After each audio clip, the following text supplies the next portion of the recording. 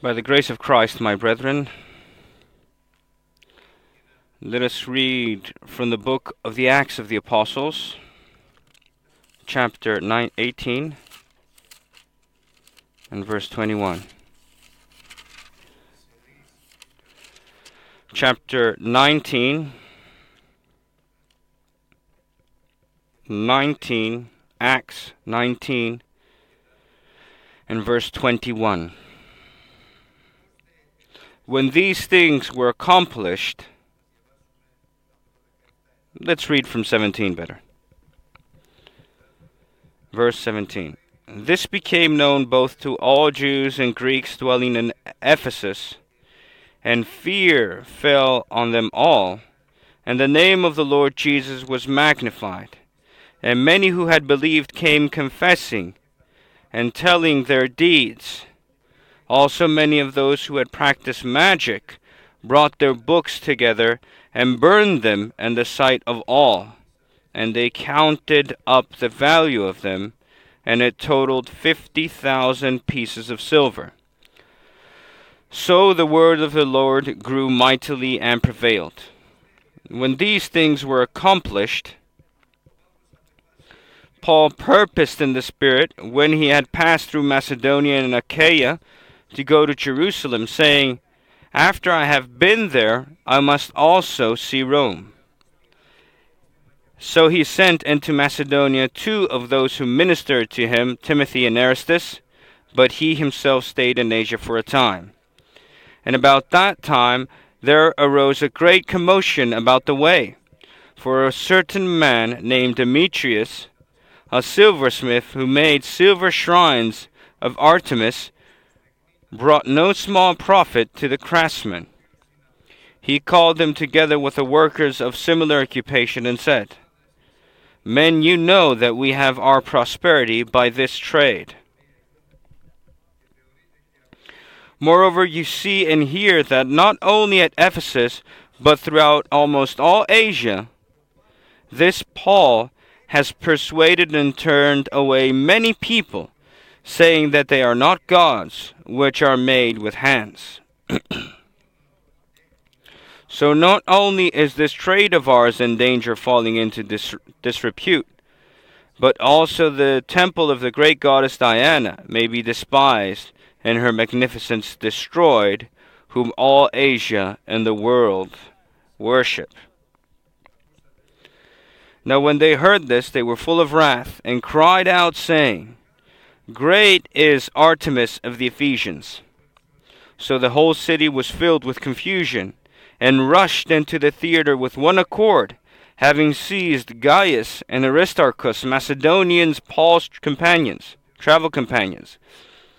And when Paul wanted to go into the people, the disciples would not allow him. Then some of the officials of Asia, who were his friends, sent to him, pleading that he would not venture into the theater.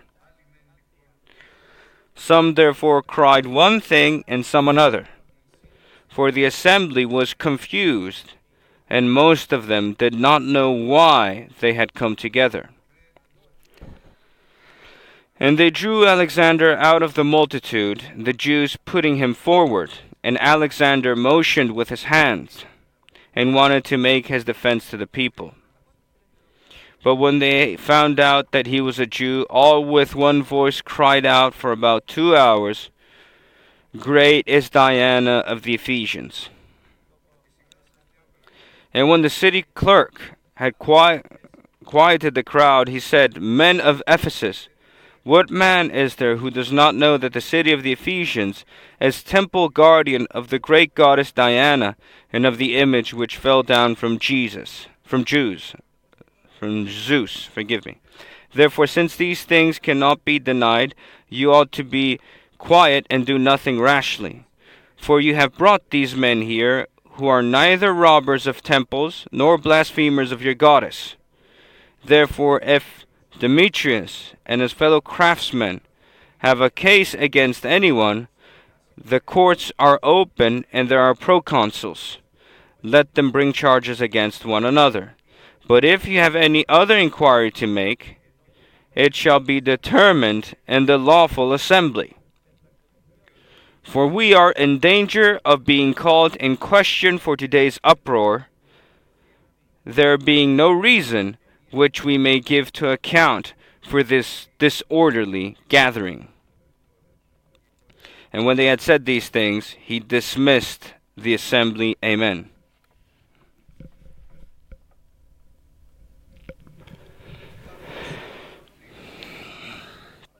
Paul, a few years earlier, in reality, in 19, uh, forgive me, in 50 AD, around seven years before this moment that we read about today, he had decided to go to Ephesus and preach the gospel. But he had learned now that he never started out to do something unless he had instruction and guidance by the Holy Spirit. And while he was searching to find where the Holy Spirit wants him to preach in Mysia and other places, he found himself in a dead end in Troas, not knowing where and what he must do. The guidance that he was seeking and he was receiving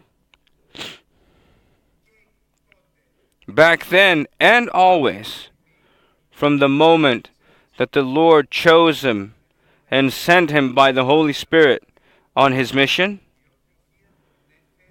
his guidance, the guidance of God, brought him to a dead end, not knowing what to do.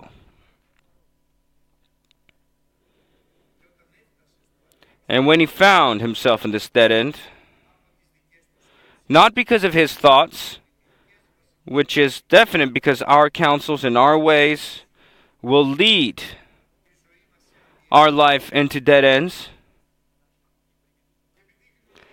And because he knows that this dead end doesn't have an opening and he needs to turn back, that's why he never started unless he had complete instruction and guidance by the Holy Spirit. But behold, the absolute instruction of the Holy Spirit brought him again to a dead end.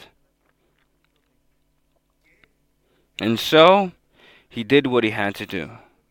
Without worries, without anxiety, he waited to see what God would tell him.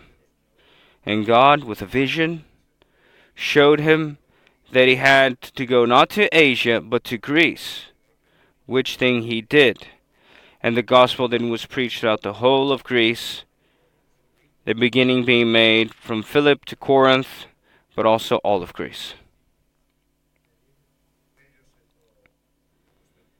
His apostolic trip was over, and a new trip, God prepares a new trip for him, the third trip, and this time God leads him. There were five years ago, Paul wanted to go on his own but God wanted him to go after five years, and that is Ephesus. And there in Ephesus, because God knows all things, and Paul's know it, and God and Paul trusts him, all things were prepared then. there were twelve disciples of Apollos there, who had heard the things concerning Jesus Christ by Apollo who was mighty in word and in spirit. They were baptized in the baptism of John. When Apollos left, the Apostle Paul found himself there. When he asked them a question that the Apostle Paul always made since you believe have you believed, believing in Jesus Christ, have you received the Holy Spirit? The 12 disciples said, We don't even know if it exists. And he says, How do you say this? Were you not baptized in the name of the Father, Son, and the Holy Spirit? How do you not know about the Holy Spirit? And then they testified that no, we were not baptized in the name of the Father, the Son, and the Holy Spirit, and that's why they do not know things concerning the Holy Spirit but they were baptized in the baptism of John of repentance. And having submitted to the right division of, of the of the Holy Spirit of the gospel, the dogmas that Apostle Paul presented to them of the apostles. They were baptized in water in the name of Christ, and they were all filled in the Holy Spirit, and they spoke in tongues and prophesied. And from then on, the greatest blessing that the Apostle Paul ever lived in his ministry began. All of Asia heard the word of God. Soothsayers, sorcerers were turned and converted, and they were added by the Lord to the church of Christ.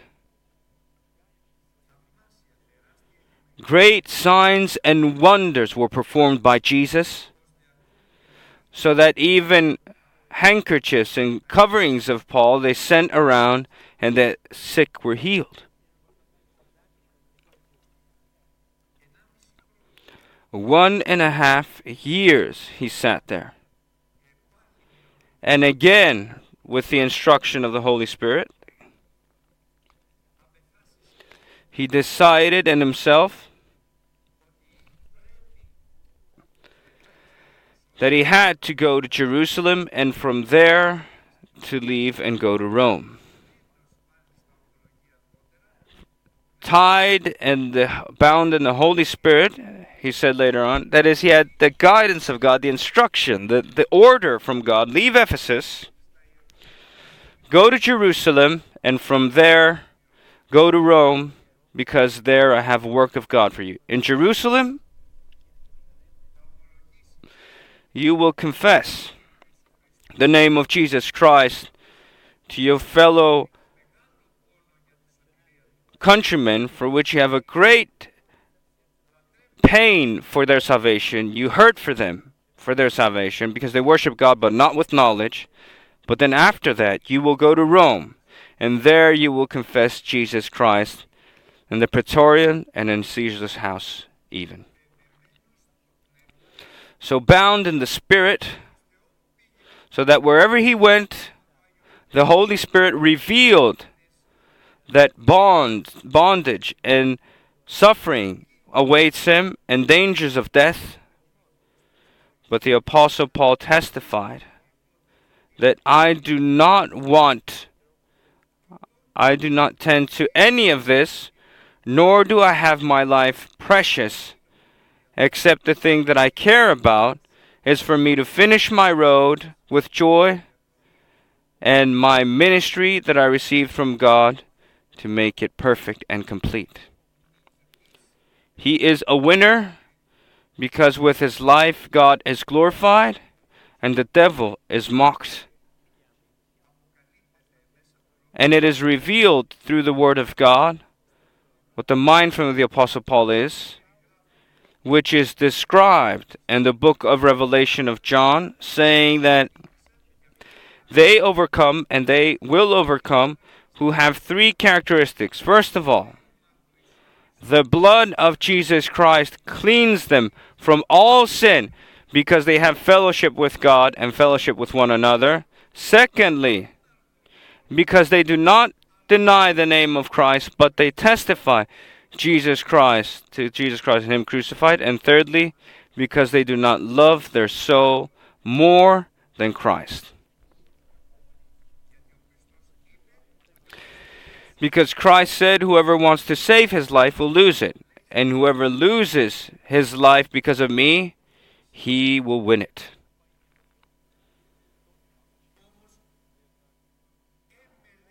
But this short time span where the Apostle Paul, with a perfect guidance, decided to leave.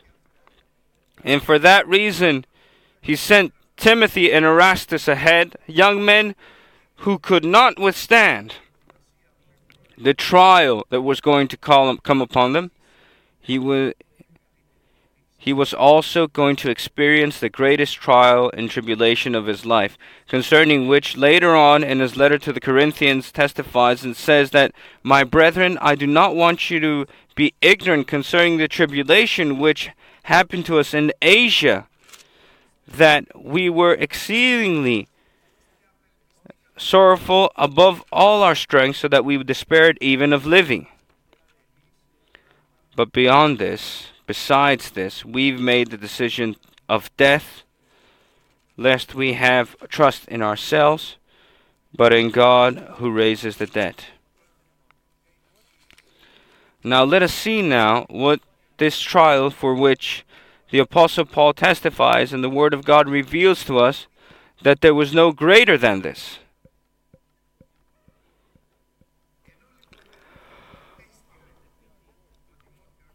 So while he sent Timothy and Erastus ahead, and I say, and may God have mercy upon me if I'm mistaking, because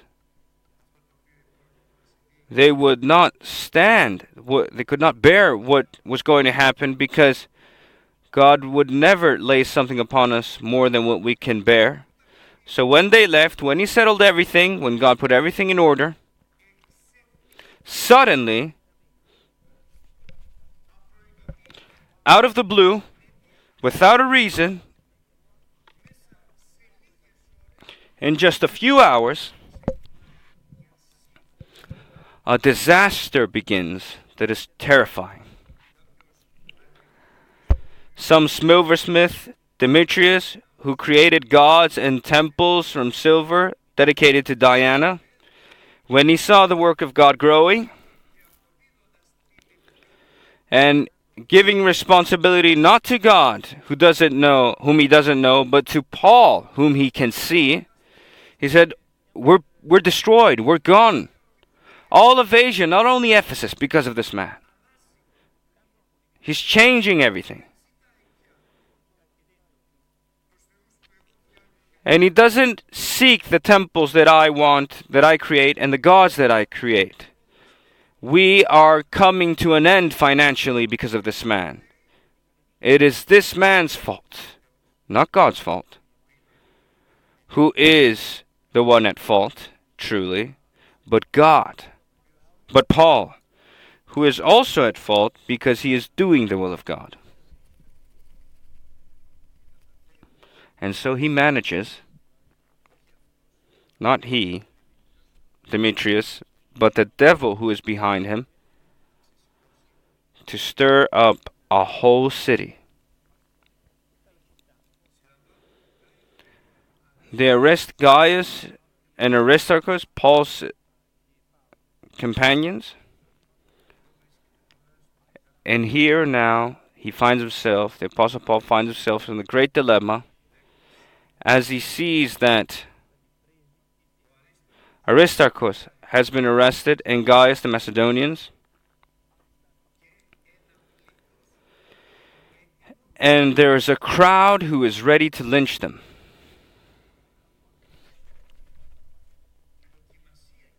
The trial and the problem of Paul wasn't if he were going to die, but he could not bear to watch the people that he loves die. The disciples told him, Don't go. Don't go because they will kill you. But he wasn't afraid. It is, it is sure. He testifies concerning his death. He was ready to die, but he had a serious dilemma. On one hand, he had the instruction of God to go to Jerusalem and then to, Ro- to Rome for the glory of God. And on the other hand, he wanted to go and die with the ones that he loved. This is the thing that he couldn't stand, he couldn't bear it, and he co- confessed that he was even desperate of living. It is the crucial point which will make God be glorified in the life of Paul and to and the devil will become disgraced before the glory of God. What will you do?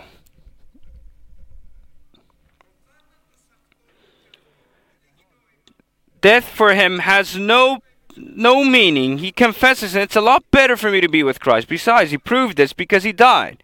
He was butchered. But other, there's another dilemma here. On one hand, there's the glory of God and his obedience to God, and on the other hand, there's the great love, where the love of God by the Holy Spirit was filling his heart. Who will win?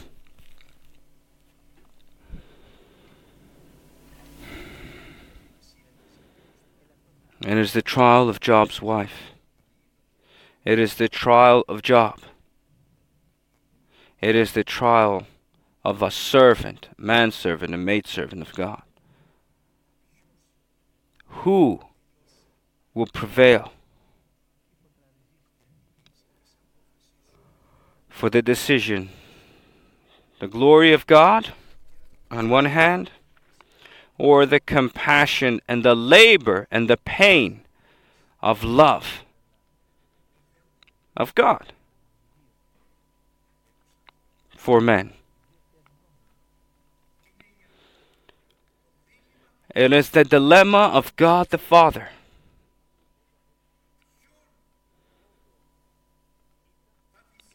Whom will he sacrifice? His only begotten Son so that he may cr- be crushed, because only in this way will the devil be crushed on the ca- head of Calvary and the cross of Calvary. Whom will he sacrifice?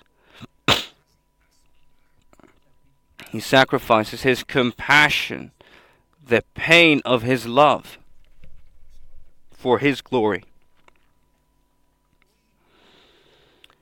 Now, what prevails? What will become greater in the thought of the Apostle Paul. I believe that at that moment all the heavens were silent, waiting to see who would be glorified and who would be reproached. The angels, the archangels, the cherubim, the seraphim, all motionless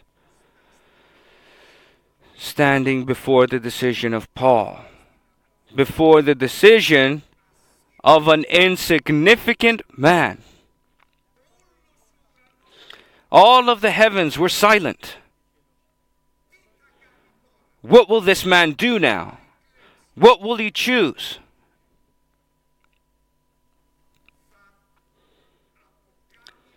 Will he become discouraged before this pain of love that he's feeling?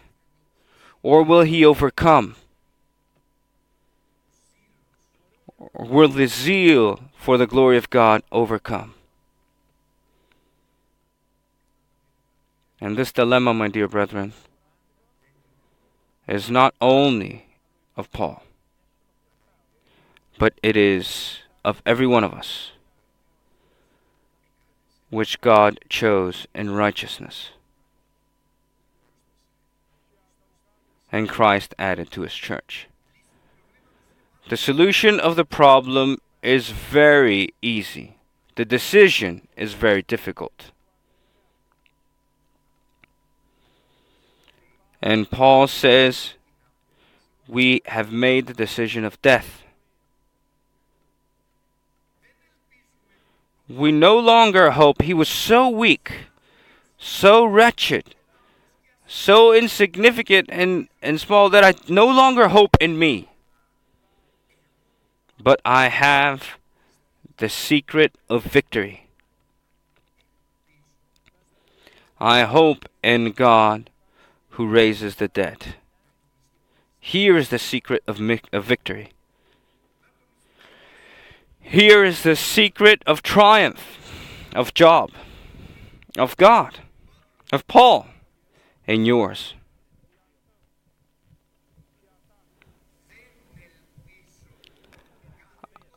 I do not hope in me and in anyone at all. My hope is in God, who raises the dead.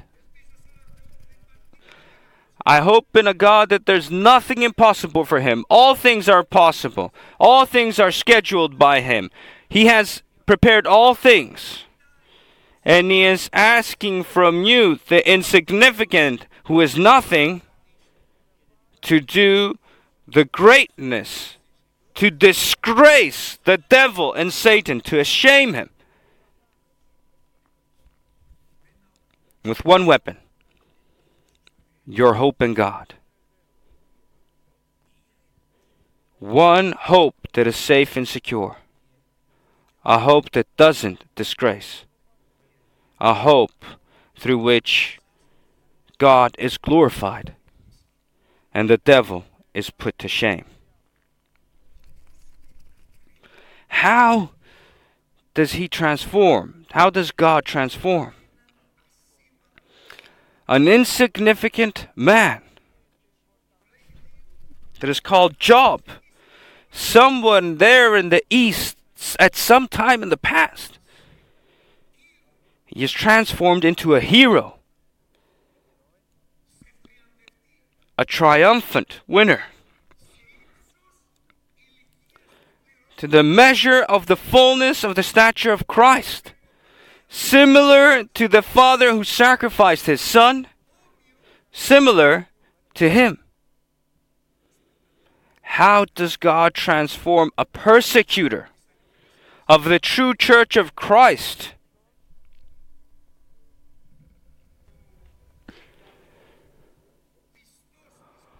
Who, being faithful to his traditions,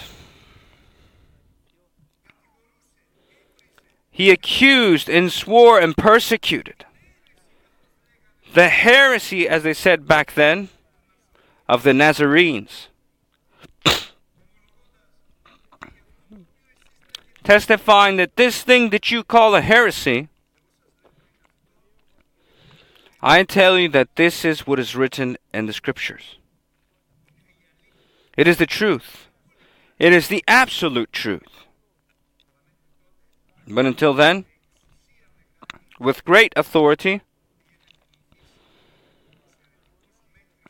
he went to persecute the heretics until Jesus Christ as he always does, seeing not the thing that is now.